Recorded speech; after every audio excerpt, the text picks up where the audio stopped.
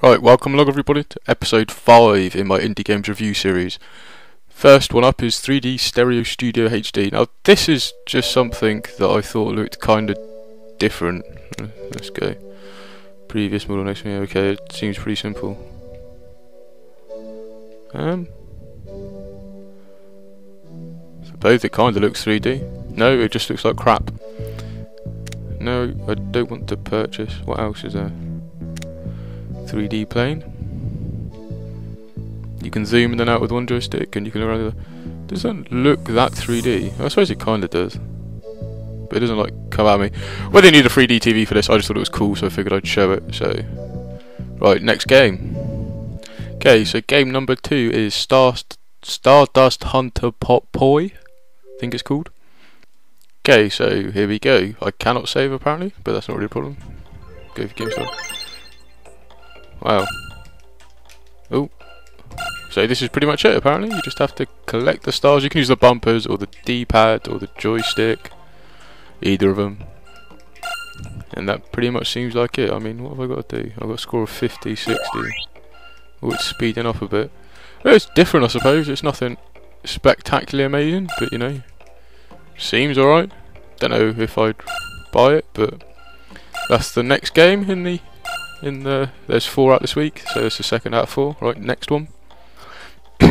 so the third game is going to be Ocean Drive Challenge.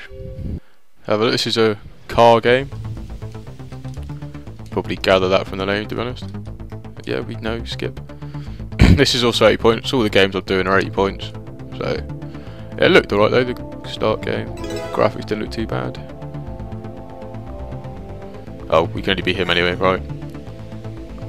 Ooh. Oh wait, no. No, crap. Let's try that again. Be the dude. We'll go auto because I'm lame. And show comments. We'll have comments. Hi Jacob, if I'm busy. Shuffle, play everything. Let's go. Go! Okay, steering seems a bit dodgy. Left triggers brake, right triggers drive. Here I go again on my own. Yes, I do. Oh. Isn't too bad. It reminds me. Oh crap. Of um, like an old Dreamcast game or something. I don't what it's called, like Outrun, isn't it? Oof, that was well close. So yeah, I mean, another indie game. This doesn't look too bad for 80 points, to be honest, considering some of the stuff you see. Get owned.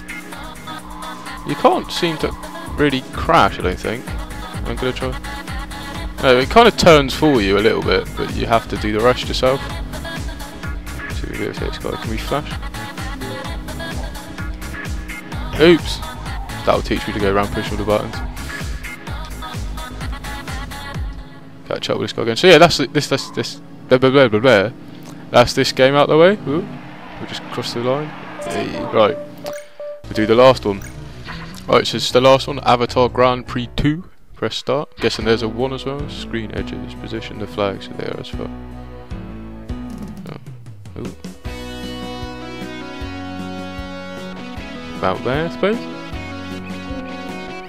Would you like to try a quick test drive before you begin a test short?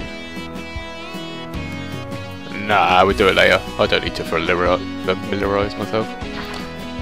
Yeah, that'll do. Now this has got online multiplayer, so... Oh well.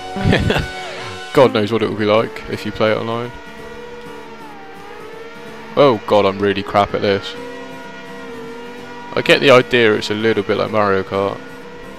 Because you get, if I manage to crap, get a box and not die. Stop hitting the wall, you big turd. Hey, I'm first. Look at that. Even when I'm bumping off all the walls. Right, just get a box. X. Oh. Oh, you push A to use items, so I just laid a mine. Everyone else has got stuff. Whoa. Crazy. Well, you know, for 80 points, it could be quite a laughing rate. So hopefully there's longer tracks than this. This is a little bit uh, on the short side. Oh, a magnet. What does that do? If I can stop bouncing off the walls, I'll find out.